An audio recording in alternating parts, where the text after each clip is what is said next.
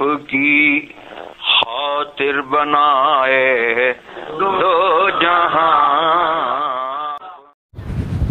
अस्सलामु अलैकुम वरहमतुल्लाहि तआला वबरकातुहू। अल्हम्दुलिल्लाह। अल्हम्दुलिल्लाहि रब्बिल आलमीन। वल आक़िबतु लिलमुत्तक़ीन अस्सलातु वस्सलामु अला सय्यदिल मुरसलीन। अम्मा बाद।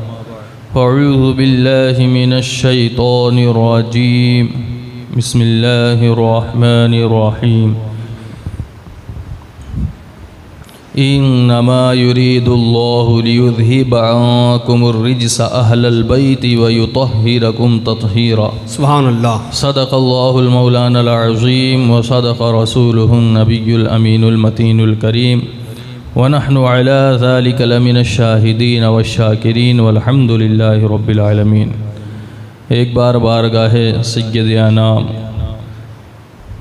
महबूब परवरदिगार अहमद मुशतबा मोहम्मद सल्लल्लाहु अलैहि वसल्लम की मुक़द्दस बारगाह में दुरूद शरीफ का नजराना पेश करें। अल्लाहुम्मा अल्लाहुम्मा सल्लि अला सल्लि शफीना नबीना मौलाना मुहम्मद मादिल जूद वल करम व सलात व सलाम अलैका या रसूलुल्लाह सल्लल्लाहु तआला अलैहि वसल्लम इमामुल कलाम इमाम के फरमाएँ उनकी महकन दिल के गुंचे खिला दिए हैं उनकी महकन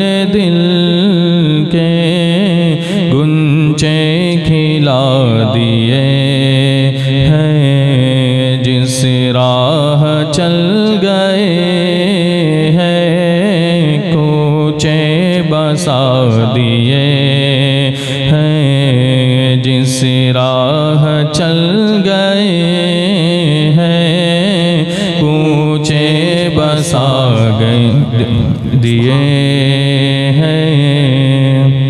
जब आ गई है जोशे, रहमत पे उनकी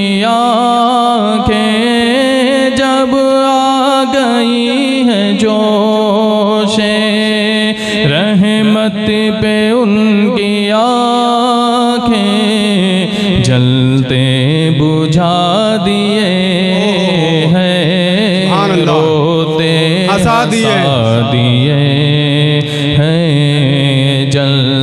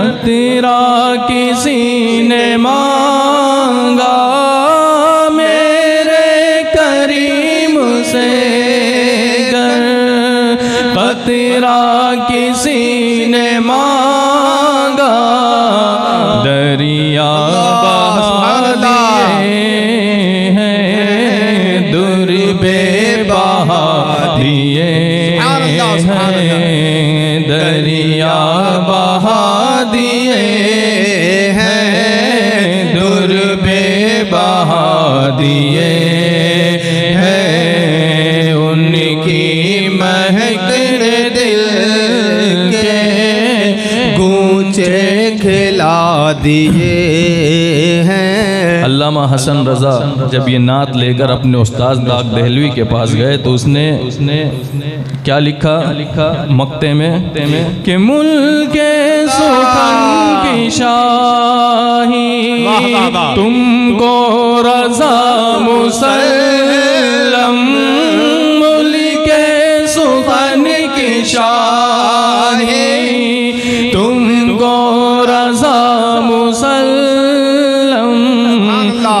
समत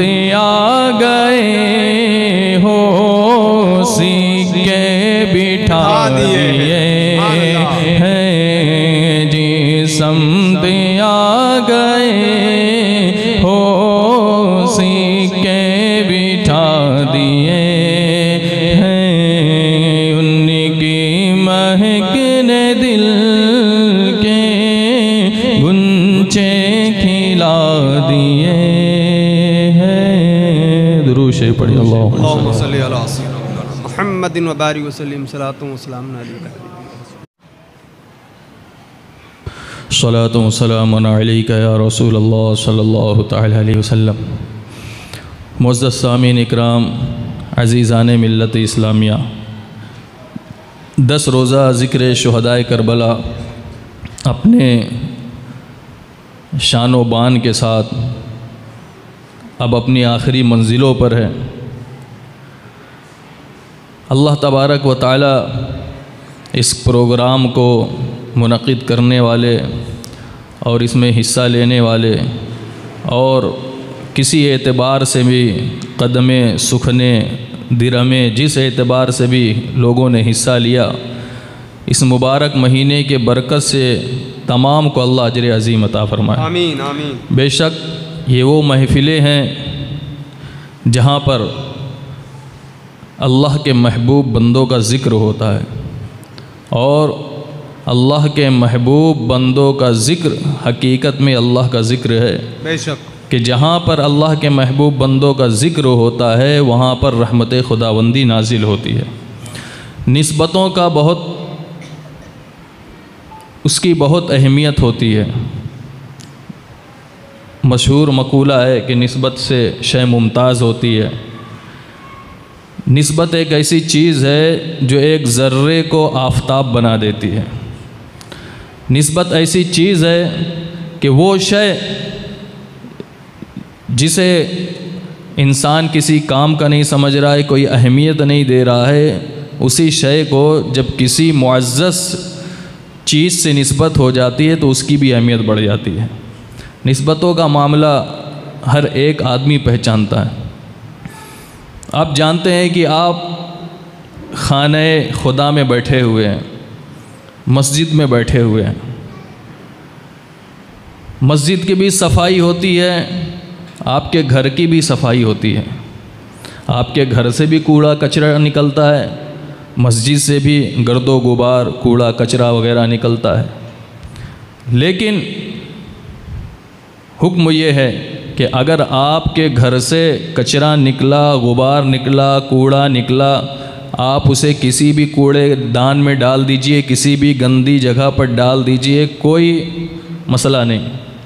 लेकिन मस्जिद से अगर वही गर्दो गुबार निकला, मस्जिद से कचरा निकला तो उसे ऐसी जगह डालने से परहेज़ किया जाए जहाँ पर लोगों के कदम भी पड़ते हों। ये अहमियत है। हालाँकि गर्दो गुबार ये मस्जिद में पैदा नहीं होता है। जिस तरह रास्ते पे गाड़ी चल रही है, लोग चल रहे हैं, रास्ते से उड़कर जिस तरह गर्दो गुबार आपके घर में जा रहा है, वैसी गर्दो गुबार मस्जिद में भी आ रहा है। वही गर्दो गुबार जब रोड पर था, उसकी कोई अहमियत नहीं थी। लेकिन जब वही गर्दो गुबार मस्जिद में आ गया तो मस्जिद के कूड़े के बारे में हुक्म यह है कि उसे निजासत की जगह फेंका ना जाए। तो गुबार और कचरा ये एक चीज़ है जिसकी कोई अहमियत नहीं, लेकिन जब उसको नस्बत हो गई एक अजीम शय से तो उसकी अहमियत बढ़ गई। तो नस्बतों का बहुत मामला होता है। हज़रत इमाम हुसैन रती अल्लाह तु से यह हदीस मरवी है। इरशाद फरमाते हैं कि मेरे वालिद हज़रत अली इब्न अबी तालिब करम अल्लाह तजहुल करीम ने एक बार सहाबा के मजमे में इरशाद फरमाया, क्या मैं तुम्हें हुजूर का वज़ू बनाकर दिखा न दूँ कि हुजूर किस तरह वज़ू फरमाते थे? सहाबा इकराम ने अर्ज़ की अमीरमिन बेशक आप बताइए हुजूर किस तरह वज़ू फरमाते थे? तो हज़रत अली करम अल्लाह तजहुल करीम ने एक बर्तन में लोटे में पानी मंगाया और जो वज़ू का सुन्नत तरीक़ा है, उस तरीक़े से वज़ू किया, कुल्ली किया, नाक में पानी डाला, चेहरे पे पानी डाला। उसके बाद जब वज़ू से फारिग हो गए तो बर्तन में थोड़ा सा पानी वज़ू का बच गया।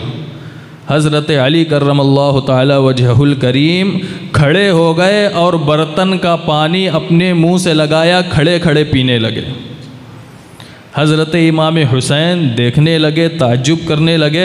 हज़रत अली जब देखते हैं तो समझ जाते हैं इरशाद फरमाते हैं बेटा तुम ताजुब करते होगे कि लोग अगर खड़े भी हैं तो पानी पीते टाइम बैठ जाते हैं और हमारे वालिद बैठे थे पानी पीने के लिए खड़े हो गए। फरमाते हैं कि सुन लो मैंने ये अपने से कुछ नहीं किया है मैंने वही किया है जैसे मैंने तुम्हारे नाना सरवर अम्बिया को करते हुए देखा है। कि मैंने उन्हें देखा कि आपने वज़ू फरमाया वज़ू फरमाने के बाद उसी बर्तन में जो पानी बच गया आपने उसे खड़े होकर नोश फरमाया।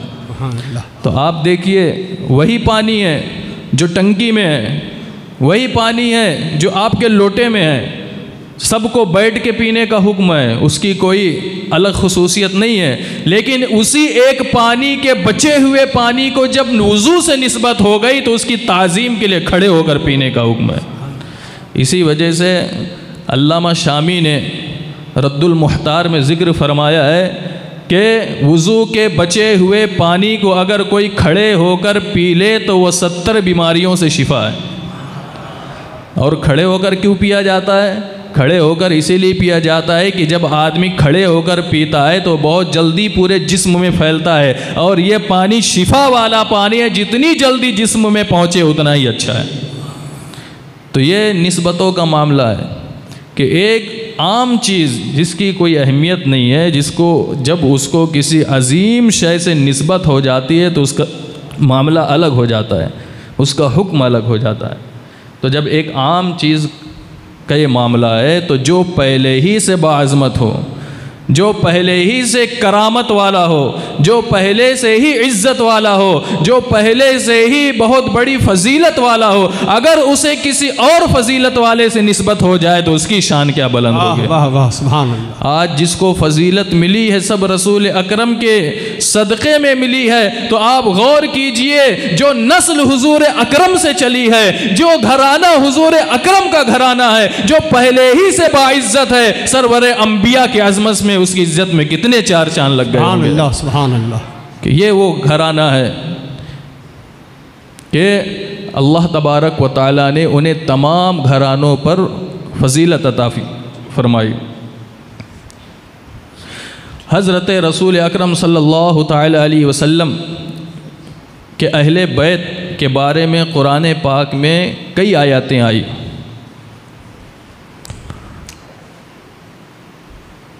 अल्लाह तबारक व ताली ने इरशाद फरमाया इन नमा युरीदुल्लाकुमरिजअहलबैति व युतहिरकुम ततहीरा। कि अल्लाह तबारक व ताली चाहता है कि ए महबूब के घर वाले ए नबी के घर वाले तुम्हें खूब खूब पाक और सुथरा कर दे। तो इस आयत करीमा में अल्लाह ने फरमाया अहलल बैती वयुतहिरकुम ततहीरा। अय नबी के घर वालों तुम्हें अल्लाह खूब पाक व सुथरा करना चाहता है। तुम आम घरानों की तरह नहीं हो।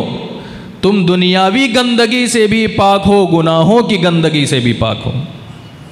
ये हज़रत रसूल अकरम सल्लल्लाहु अलैहि वसल्लम के घराने की शान है। अब अहले बैत ये एक लफ्ज़ है, लेकिन इसमें मुराद कितने लोग हैं? जमहूर का मज़हब यही है कि अहले बैत में अजवाज मतहरात और पंजतन पाक दोनों दाखिल हैं।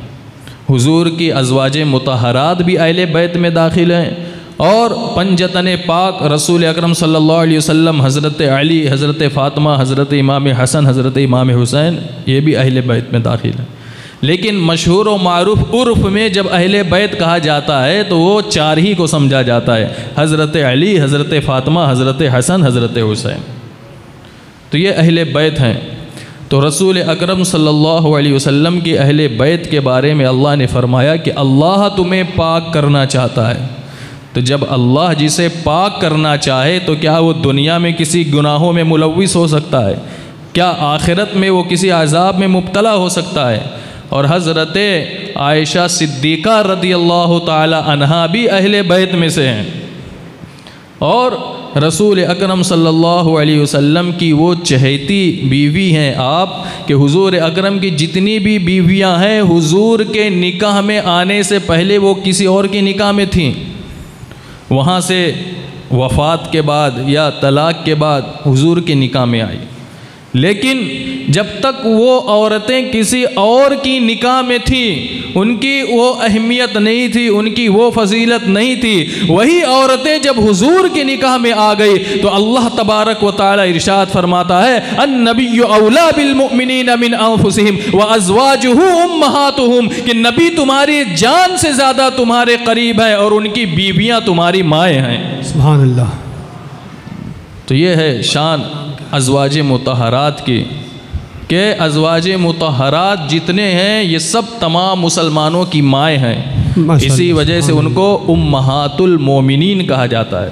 नारे तकबीर। तमाम मुसलमानों की हजरात ग्राम कार देखें हमारे एक और ख़तीब में इजाफ़ा हुआ है जो बाहर सरकार गरीब नवाज़ के राजस्थान के इलाके से जिनकी आमद हुई है अल्हम्दुलिल्लाह हज़रत तशरीफ़ ला नारे तकबीर। नारे रिसालत।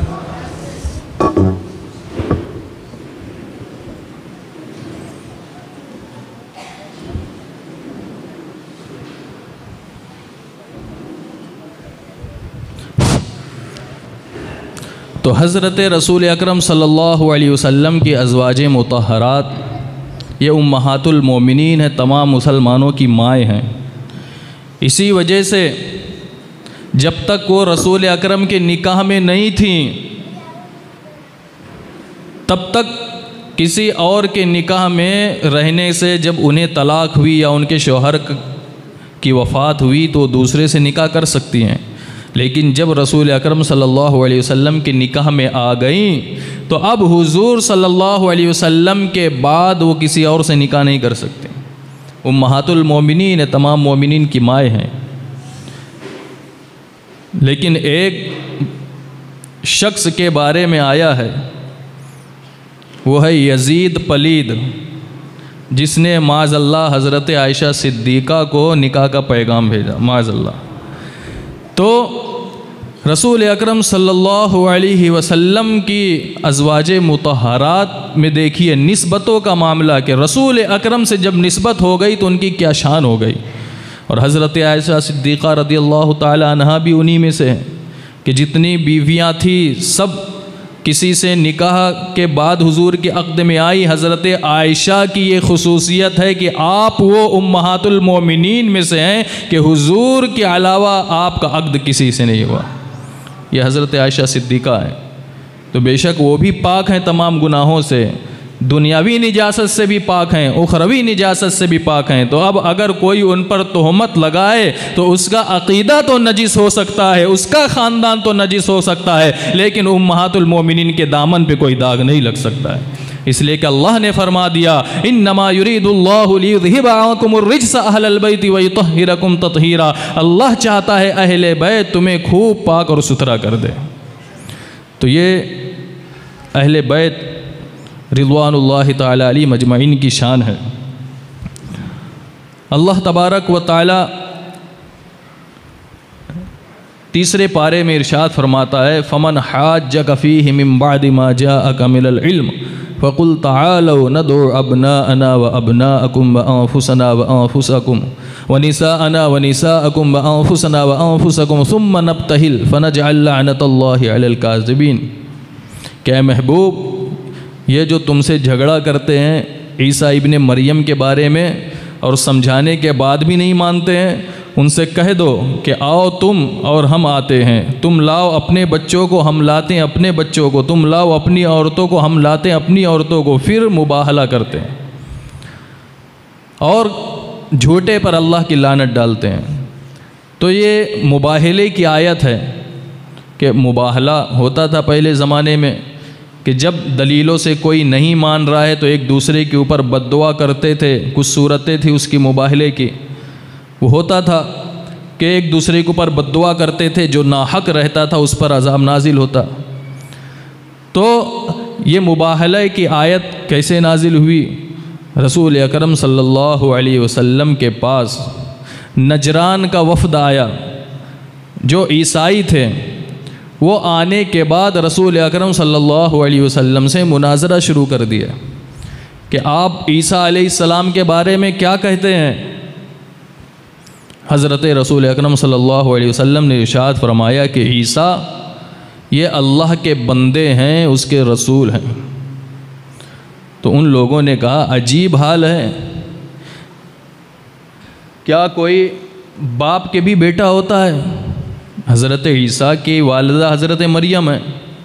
लेकिन अल्लाह तबारक व ताली ने उन्हें बग़ैर बाप के पैदा किया। वो कहते हैं कि क्या कोई बग़ैर बाप के भी बेटा होता है? यानी उनका मतलब ये था कि ईसा, ये खुदा के बेटे हैं माजल्ला खुदा के बेटे। इसलिए कि बग़ैर बाप के बेटा नहीं होता तो बाप माजल्ला खुदा है। तो इस तरीके की उन्होंने बातें की। तो रसूल अकरम सल्लल्लाहु अलैहि वसल्लम ने इरशाद फरमाया, इसमें ताज्जुब की क्या बात है? बग़ैर बाप के बेटा हो गया तो। तुम बग़ैर बाप की बात करते हो, अल्लाह इस पर कादिर है कि बग़ैर माँ, बग़ैर बाप के बेटा पैदा कर दे। क्या हज़रत आदम को बग़ैर माँ और बग़ैर बाप के अल्लाह ने नहीं पैदा फरमाया? हज़रत आदम को अल्लाह ने जन्नत में पैदा फरमाया। वहाँ जन्नत में आप रहे, क्या आपके कोई माँ थी, कोई आपके कोई बाप थे? अल्लाह की कुदरत से कुछ बाइट थोड़ी है, कुछ नहीं था, तब अल्लाह ने चाहा, जिसको जैसा चाहा पैदा फरमा दिया। जब अल्लाह ने कह दिया कि वो मरियम के बेटे हैं, बगैर बाप के हमने उन्हें पैदा किया तो बेशक वो अल्लाह के रसूल हैं, उनका बाप जो है, कोई नहीं है, बल्कि वो मरियम के शिकम से पैदा हुए, अल्लाह ने उन्हें बगैर बाप के पैदा किया। लेकिन वो मानने के लिए तैयार नहीं, रसूल अकरम सल्लल्लाहु अलैहि वसल्लम से हजतें कर रहे हैं। तो उस वक्त ये आयत करीमा नाजिल हुई। फ़मन हाज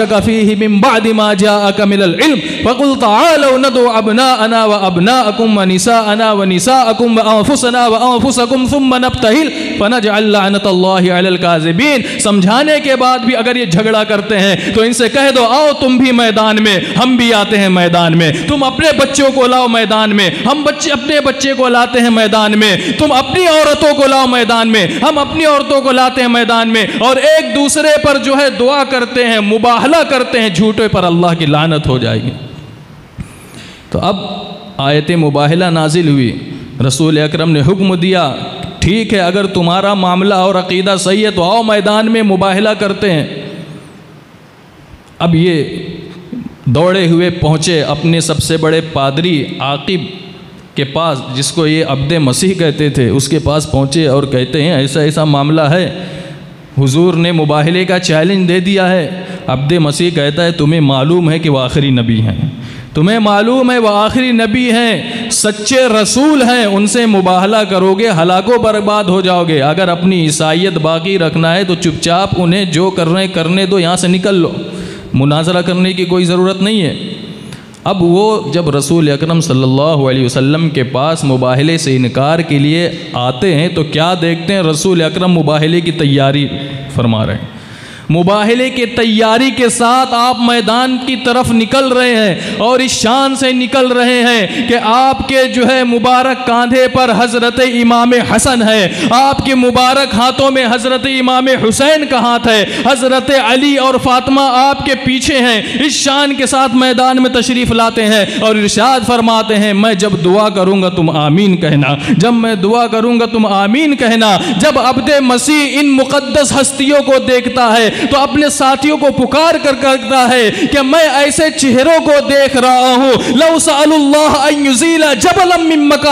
अजाला अगर वो अल्लाह से पहाड़ को अपनी जगह से टलने की दुआ कर दे तो अल्लाह पहाड़ को भी उसकी जगह से टाल दे। अल्लाह सुभान अल्लाह जिंदाबाद सुभान अल्लाह ये मुबारक चेहरे मैं देख रहा हूँ सुबह अल्लाह कि मैं ऐसे चेहरे देख रहा हूँ कि तुम सिर्फ़ जो है मुबाहले की बात करते हो, ऐसे चेहरे देख रहा हूँ लऊसल्लाजीला जबला मिम मकानी। अगर वह अल्लाह से दुआ कर दें तो अल्लाह पहाड़ को भी अपनी जगह से ज़ायल कर दे, टाल दे। इससे मुबाहला मत करो। रसूल अकरम की बारगाह में आते हैं और अर्ज़ करते हैं, या रसूल अल्लाह, हम जिजिया देने के लिए राज़ी हैं, हम मुबाहला आपसे नहीं करेंगे। रसूल अकरम सल्लल्लाहु अलैहि वसल्लम ने इरशाद फरमाया, अगर आज ये मुझसे मुबाहला कर लेते तो तमाम के तमाम लोगों की सूरत बंदरों और माजल्ला खिंजीर जैसी हो जाती और अहले नजरान के जंगलों में भी आग लग जाती, एक साल के अंदर पूरी दुनिया से ईसाइत का नामो निशान मिट जाता। ये है अहले बैत की शान। कि रसूल अकरम ने जब कहा, तुम लाओ अपने घर वालों को, मैं लाता हूँ अपने घर वालों को तो अपने घर वालों में से किसको लाया? इमाम हसन को लेकर आया इमाम हुसैन को लेकर आए, हज़रत फ़ातिमा को लेकर आए, हज़रत अली को लेकर आए। अल्लामा हसन रज़ा फरमाते हैं बाग जन्नत के हैं बहरे मद खान अहल बैत। तुम कहो मुजदा नार का हो दुश्मनान अहल बैत। बे इजाज़त जिनके घर जिबरील भी आते नहीं कदर वाने जानते हैं कदर शान अहल बैत। वाह वाह वाह और बेअदब गुस्ताख फिरके को सुना दो ए हसन हाँ। यूँ कहा करते हैं सुन्नी दास्तान ये हज़रत रसूल अकरम सल्लल्लाहु अलैहि वसल्लम के मुक़द्दस घराने की शान है। कि अल्लाह तबारक व ताली ने उनकी क्या फजीलत अता फरमाई कि अगर वो दुआ ना करें, सिर्फ़ आमीन कह दे तो अल्लाह पहाड़ों को टाल दे। तो ये आयत करीमा से अहल बैत अतहार की अज़मत पता चलती है। दूसरी आयत करीमा में अल्लाह तबारक व ताली ने इरशाद फरमाया कुल्ला अजरन इल्लमवद्दत फ़िलक़ुरबा ए महबूब, फरमा दीजिए कि मैं इस पर तुमसे कोई उजरत तलब नहीं करता, मगर ये कि मेरे घर वालों से, मेरे कराबतदारों से मोहब्बत करते रहना। ये आयत करीमा नाजिल हुई, जिसका मतलब ये है कि रसूल अकरम से अल्लाह ने कहा, आप ऐलान फरमा दो कि मैंने तुम्हें ईमान की दौलत दी, मैंने तुम्हें इस्लाम की दौलत दी, मैंने तुम्हें कुरान दिया। मैंने तुम्हें तमाम नेमतें दी, तुम कुफर के नरगे में थे, मैंने इस्लाम की रोशनी अता फरमाई। लेकिन मैं इस पर तुमसे कोई उजरत नहीं माँगता कि मुझे कोई पैसा दो, मुझे कोई जायदाद दो, मुझे कोई मालो दौलत दो। मैं तुमसे ये सब नहीं माँगता अय महबूब फरमा दीजिए, मैं तुमसे इस पर कोई उजरत तलब नहीं करता। इल्लमवद्दत फिल क़ुरबा, मगर ये कि मेरे अहले बैत से मोहब्बत करते रहना, मेरे कराबत दारों से मोहब्बत करते रहना। इसके बारे में हुजूर सदुल्ला फाजिल ने तहरीर फरमाया कि अहले मदीना जमा हुए एक जगह और आपस में मीटिंग की कि रसूल अकरम के अखराज ज़्यादा हैं और मालो दौलत तो लेकर आए नहीं। तो क्यों ना आपस में कुछ जमा कर कर हुजूर के बारगाह में पेश किया जाए कि उनका काम चले? आपस में मालो दौलत पेश जो है चंदा करके, जमा करके किसी तरह हुजूर की बारगाह में जब ले गए तो रसूल अकरम सल्लल्लाहु अलैहि वसल्लम ने लेने से इनकार फरमा दिया। इसलिए कि आपने तो गुर्बत को पसंद फरमाया वरना आपकी तो शान ये है कि इरशाद फरमाते मैं चाहूँ तो सोने और जो है चांदी के पहाड़ मेरे साथ चलें। यह रसूल अकरम की शान है। अल्लाह कि अल्लाह तबारक व ताली ने तो उन्हें बहुत अजीम जो है दौलत अता फरमाई और उनकी शान तो ये आला हज़रत फरमाते हैं खालिक मालिक कौनैन हैं वो? पास कुछ रखते नहीं। दो जहाँ की नेमतें हैं उनके खाली हाथ में। और खालिक कुल ने आपको मालिक कुल बना दिया। बेशक। खालिक कुल ने आपको मालिक कुल बना दिया। दोनों जहाँ है आपके कब्ज़ो इख्तियार में। बेशक। ये आला हज़रत फरमाते हैं। और अल्लामा हसन रज़ा क्या फरमाते हैं? अरे मंगता तो है मंगता कोई शाहों में दिखा दो। मंगता तो है मंगता कोई शाहों में दिखा दो जिसको मेरे सरकार से टुकड़ा ना मिला हो।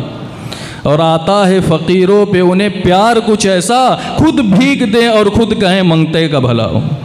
तो ये उनकी शान है।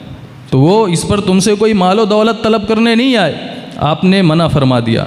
लेकिन अल्लामा जलालुद्दीन सुईती अली रहमत रिजवान ने दुन्ने दुर्र मंसूर में इसकी शान नज़ुल तहरीर फरमाई कि एक बार महाजिर और अंसार आपस में बैठे हुए थे, कुछ बहसें हुई, जिससे ये मालूम पड़ रहा था कि महाजिर या तो एहसान जतलाएँ, माजल्ला, या ये कि वो अपने ऊपर जो एहसान किया गया है, उसका कुछ मुआवजा देना चाहते हैं।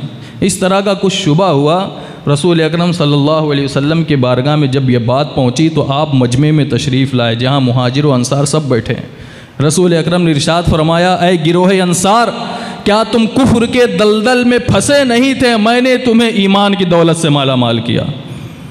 तो सब अंसार सर झुकाते हैं और कहते हैं, या रसूल अल्लाह बेशक आपने सच कहा। अब रसूल अकरम कहते हैं कि, तुम इसका जवाब दो। तुम भी पलट कर मुझको जवाब दो। वो कहते हैं रसूल अल्लाह हम क्या जवाब दें? हम तो आपके ग़ुलाम हैं। रसूल अकरम कहते, तुम भी पलट कर जवाब दो कि आपको मक्के वालों ने जगह नहीं दी, हम मदीने वालों ने आपको जगह दी। मक्के वालों ने आपका सोच साथ छोड़ दिया, मदीने वालों ने आपका साथ दिया। मक्के वालों ने आपको जो है तस्दीक नहीं की, मदीने वालों ने तस्दीक की। रसूल अकरम फरमाते जा रहे हैं, अंसार मदीना रदी अल्लाह तहो जब ये जलाल देखते हैं तो घुटने के बल रसूल अकरम के बारगाह में बैठ जाते हैं। हाथ जोड़कर अर्ज़ करते हैं, या रसूल अल्लाह, जो कुछ मिला है सब आप ही के सदक़े में मिला है। मालूना वमा बैन आईदीना लिल्लाही व रसूल ही जो माल भी पास में है, जो माल और दौलत भी पास में सब अल्लाह रसूल ही का है। बेशक। तो सब तो आप ही का दिया हुआ है या रसूल अल्लाह आप क्यों कह रहे हैं कि हमने आपकी तस्दीक की, हमने आपका साथ दिया? जो कुछ हमने किया है, जो कुछ हमारे माल हैं, मालुना व माफ़ी ऐदीना जो माल है, जो हमारे कब्ज़े में है लिल्ला व रसूल ही सब अल्लाह और उसके रसूल का है। सब आप ही का है। तो ये रसूल अकरम सल्लल्लाहु अलैहि वसल्लम ने इरशाद फरमाया कि, अय मेरे उम्मतियों, सुन लो, मुझे कोई मालो दौलत नहीं चाहिए इल्लल मवद्दत फिल कुर्बा। अल्लाह ने जो हुक्म दिया है कि जब तक रहना मेरे अहल बैत से मोहब्बत करते रहना। तो ये अहल बैत अतहार अलैहिम अजमईन की शान है। इसी वजह से रसूल अकरम वसल्लम ने हज्जतुल वदा में जो खुतबा इरशाद फरमाया तो आपने उसमें इरशाद फरमाया कि मैं दो चीज़ें तुम्हारे पास छोड़ कर जा रहा हूँ। अगर इसे पकड़े रहोगे तो कभी गुमराह नहीं होगे। एक है किताबुल्लाह और दूसरा है इतरती व अहल बैती व अहल बैती। एक है अल्लाह का कलाम और एक है मेरी इतरत अहल बैत। कि दो चीज़ें छोड़ कर जा रहा हूँ, एक मेरी अहल बैत और एक किताबुल्लाह। मजबूती से पकड़े रहोगे तो गुमराह नहीं होगे। दूसरी जगह रसूल अकरम ने इरशाद फरमाया कि कामिल मोमिन वो है जो अपनी जान से ज़्यादा मुझसे अपनी औलाद से ज़्यादा मेरी औलाद से, अपने घर वालों से ज़्यादा मेरे अहल बैत से मोहब्बत फरमाए। वो कामिल मोमिन है। तो ये अहल बैत की शान है जो नबी करीम सल्लल्लाहु अलैहि वसल्लम के घर वाले हैं। हज़रत अबू ज़र रदी अल्लाह तु इरशाद फरमाते हैं कि मैं गिलाफ़ काबा पकड़ कर कह सकता हूँ कि रसूल अकरम ने इरशाद फरमाया कि मेरे अहल बैत की मिसाल मस मसलो सफ़ीनत नूह हज़रत नू सलाम के कश्ती की तरह है। फ़मन रकी बहा नजा, वमन तखल्लफ़ अनहा, हलाका, कि जो उस पर सवार हो गया, वो निजात पा गया, जो सवार नहीं हुआ, वो हलाक हो गया। तो रसूल अकरम ने फरमाया कि मेरे अहल बैत की मिसाल कश्ती नूह की तरह है। आपको मालूम है, हज़रत नू सलाम ने तकरीबन साढ़े नौ सौ साल तबलीग की, गिनती के लोग ईमान लाए। गिनती के लोग ईमान लाए। आखिर में आपने जो है, उन्हें अजाब से डराया और अल्लाह ने अपना आम अजाब भेजा। और इस तरीक़े से तूफ़ान नूह आया। इस तरीक़े से जो है कि आसमान से भी पानी गिर रहा है, ज़मीन से भी उबल रहा है। हज़रत नू सलाम को पहले ही अल्लाह ने हुक्म दिया था कि एक कश्ती बना लो और अपने मानने वालों को उसमें चढ़ा लो, हर जानवर के एक जोड़े को चढ़ा लो। कश्ती उस वक्त लोगों ने देखी भी नहीं थी। जब हज़रत नू सलाम बना रहे थे तो कुफ़ार वहाँ से गुज़रते थे, आपका मज़ाक उड़ाते थे। हज़रत नू ने जब कश्ती तैयार कर ली, अपने मानने वालों को उस पर सवार कर लिया, हर जानवर के एक जोड़े को सवार कर लिया, इसलिए कि अब तो सब हलाक होने वाला था। जो जानवर बचेंगे, उन्हीं की नस्लें चलेंगी। आपका एक बेटा था, जो वो कश्ती पे सवार नहीं हुआ। इसलिए कि उसने आप पर ईमान नहीं लाया। अब हज़रत नू सलाम ने उससे कहा, कश्ती पे सवार हो जाओ। कहता है, नहीं, मैं नहीं सवार होऊँगा। हज़रत नू सलाम ने कहा, बहुत बड़ा तूफ़ान और सैलाब आने वाला कहता, मैं पहाड़ पर चढ़ जाऊँगा। जब तूफ़ान आया, सैलाब आया, सबको एकदम निस्तो नाबूद कर दिया। कुरान फरमाता है, हज़रत नू सलाम ने कहा, रब्बी इन नबनी मिन अहली ए मेरे रब, ये मेरा बेटा। डूब रहा है। अल्लाह ने फरमाया कालया नूह इन्नमिन अहलिक। अय नूह ये तेरी औलाद नहीं है तेरा बेटा नहीं है। इसलिए कि हमारे नज़दीक नसब और खून का रिश्ता नहीं देखा जाता है। हमारे नज़दीक ईमान का रिश्ता देखा जाता है। ईमान का रिश्ता सलामत है तो तुम हमारे भाई भी हो बाप भी हो बेटे भी हो। ईमान का रिश्ता सलामत नहीं है तो नसब के रिश्ते की कोई अहमियत नहीं। बेशक अल्लाह। अल्लाह अकबर। या रसूल अल्लाह जिंदाबाद जिंदाबाद सुबहान अल्लाह तो फरमाता है परवरदिगार ए नू इन लई समिन अहली की ये तेरी अहल से नहीं है। ये तुझ पर ईमान नहीं लाया। ये है मसल के आला हज़रत। बेशक। कि नबी से जो हो बेगाना उसे दिल से जुदा कर दे। इधर मादर बरादर जान दिल उन पर फिदा कर दे। इसलिए कि की मोहम्मद से वफा तूने तो हम तेरे हैं। की मोहम्मद से वफा तूने तो हम तेरे हैं। ये जहाँ चीज़ है क्या? लहो कलम तेरे हैं। हमें और आपसे जो निस्बत है वो इस वजह से नहीं है कि हम एक शहर के हैं एक मुल्क के हैं। हमारी और आपकी नस्बत मोहम्मद रसूलुल्लाह की वजह से है। बेशक जब तक ये रिश्ता मज़बूत है हमारा रिश्ता मज़बूत है। बेशक। तो ये शान होना चाहिए। तो अब हज़रत नू सलाम की कश्ती पे जो लोग सवार हुए वही बचे। तो रसूल अकरम फरमाते हैं मेरे अहले बैत की मिसाल नूह के कश्ती किस तरह है? मन रकीबहा नजा जो सवार हो गया वो निजात पाया। वो मन तखल्लफ हलका जो सवार नहीं हो पाया हलाक हो गया। अल्लाह तो आपने कश्ती का अहले बैत को। और सहाबा के बारे में क्या कहा? इरशाद फरमाया असहाबिका नजूम फ़बी अयम इख्तदई तुम इख्तदई तुम मेरे सहाबा सितारों की तरह हैं। जिसकी पैरवी करोगे जो है राहयाब हो जाओगे। और आप जानते हैं पहले के ज़माने में एरोप्लेन और ये रोड पे चलने वाली गाड़ियाँ उससे लोग उतना सफ़र नहीं करते थे। लंबे लंबे सफ़र जो है दरियाओं में किए जाते थे कश्तियों में किए जाते थे। और कश्तियों में जो रास्ते मिलते थे पता लगाना रहता था किधर जाना है तो सितारों के ज़रिए से रास्ते तय होते थे। जी। तो अहले बैत ये निजात की कश्ती हैं। और निजात जो उस कश्ती में बैठकर आप साहिल तक पहुँचेंगे वो सितारों के ज़रिए से पहुँचेंगे। बेशक। अगर कश्ती नहीं है तो सिर्फ़ सितारा देखते देखते समंदर पार नहीं कर सकते डूब जाओगे। और अगर कश्ती भी है सितारे नहीं है तब भी साहिल तक नहीं पहुँच पाओगे। कश्ती भी ज़रूरी है और क्या है?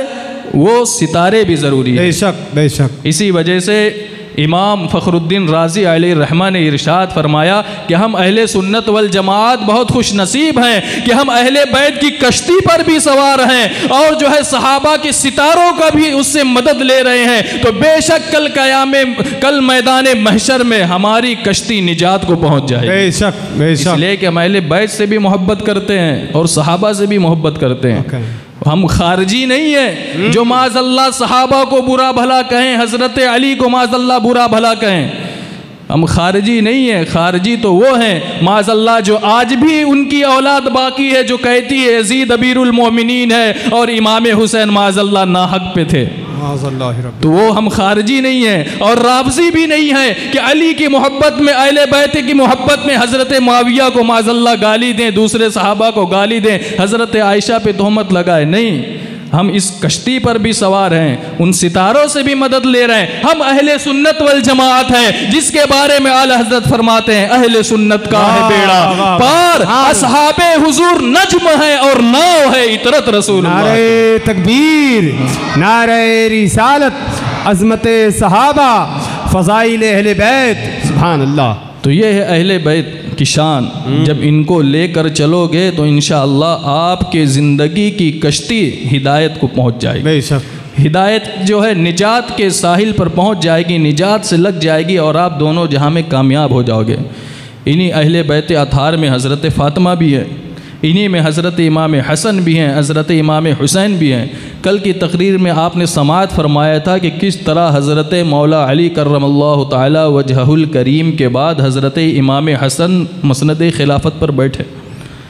और छः महीना आपने खिलाफत की, उसके बाद जब आपने देखा हज़रत अमीर माविया का लश्कर और इधर हज़रत इमाम हसन का लश्कर आप एक ऊँची जगह पर खड़े होकर देखते हैं कि इधर भी मुसलमान, इधर भी मुसलमान, तलवारें चलेंगी तो खून किसका बहेगा? आपने कहा, बुलाओ अमीर माविया को, अब जंग नहीं होगी, सुलह होगी। और आपने चंद शर्तों के साथ हज़रत अमीर माविया को कि मेरे बाद की जो खिलाफत है, मैं आपको अता फरमाता। तो हज़रत इमाम हसन ने हज़रत अमीर माविया की खिलाफत कबूल फरमाई और सुलह फरमा ली। तो जब बाप ने सुलह फरमा ली तो औलाद को एतराज़ का क्या हक होता है? जो असली सैयद होंगे बेशक वो इमाम हसन के नक्श कदम पर होंगे।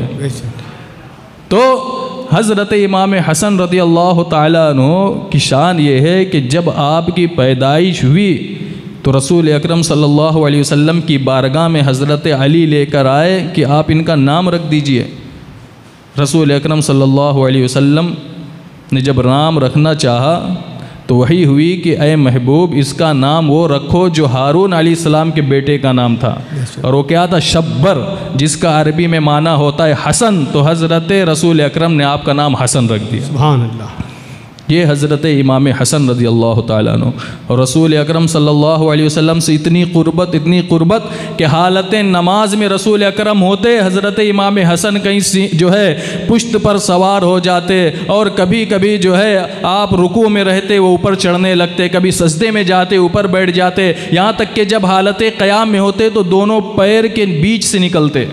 यहाँ तक कि साहबी रसूल फरमाते हैं कि मैंने रसूलुल्लाह को सल्लल्लाहु अलैहि वसल्लम को देखा कि आप हालत क़याम में जो पैर थोड़ा सा फैला देते ताकि हज़रत इमाम हसन आराम से नीचे से निकल जाए। ये हज़रत इमाम हसन रदी अल्लाह तहों की शान। अल्लाह तबारक व ताली हमें अहल बैत अतहार की मोहब्बत में रहने की तोफ़ी अता फ़रमाए उनके फ़ैज़ बरक़ात से माला माल अता फ़रमाए। रसूल अकरम सल्लल्लाहु अलैहि वसल्लम ने इरशाद फरमाया था कि एक बार आप मिंबर पे बैठे थे हज़रत इमाम हसन आपके बगल में थे। एक बार इमाम हसन को देखते एक बार सहाबा को देखते। और इरशाद फरमाते हैं कि इब्नी हादा सैदुन मेरा ये बेटा सरदार है। लाल्लाहा बिही कि अल्लाह तबारक व ताला बेशक इसके ज़रिए से सुलह फरमाएगा। बैना फ़ियतैन मिनल मुस्लिमीन दो मुसलमानों के बड़े गिरोह के दरमियान। रसूल अकरम ने क्या फरमाया? आपने पहले ही बता दिया था कि मेरा ये बेटा सरदार होगा और अल्लाह इसके ज़रिए से दो मुसलमानी बड़े गिरोह के दरमियान सुलह पैदा फरमा देगा। तो वही हुआ हज़रत अमीर माविया रदी अल्लाह तु के साथ जो आपने सुलह फरमाई जिसकी रसूल अकरम ने बशारत दी थी और दोनों को मुसलमान कहा फ़ी अतैम मिनल मुस्लिमीन। तो अल्लाह तबारक व ताली हमें सहाबा कराम के बारे में अक़ीदतमंद रहने की तोफ़ी अता फ़रमाए। सहाबा कराम के आपस के जो मुशाजरात हैं, मैंने कल भी बताया था कि उसके ज़्यादा तफसील में जाने में फ़ायदा कम, नुकसान ज़्यादा है। इसीलिए हुजूर सदरुशरिया रहमा ने फरमाया कि सहाबा इकराम के बाहमी जो मामलात हैं, उसमें पढ़ना हराम हराम, सख्त हराम है। हमें तो ये देखना चाहिए कि दोनों रसूल अकरम के गुलाम हैं और दोनों रसूल अकरम के कदमों पे अपने जानों को कुर्बान करने वाले हैं। तो बेशक जितने सहाबा हैं, सबसे अल्लाह ने जन्नत का वादा फरमा लिया। और ये भी फरमा दिया, वल्लाह खबीरुम बिमा तामलून। हमें मालूम है जो तुम करने वाले हो। हमें मालूम है जंग जमल होगी। हमें मालूम है जंग सिफीन होगी। ये तमाम होगा। फिर भी वकुल्लाहुसना हमने तमाम सहाबा से जन्नत का वादा फरमा लिया। तो यही मसले के आला हज़रत है। अल्लाह तबारक व ताली हमें सहाबा की बारगाह में बादब रहने की तोफ़ी अता फ़रमाए और अहल बैस से मोहब्बत करने की तोफ़ी अता फ़रमाए। अस्तफ़िर रबी मिनकुल्ल ज़म्बी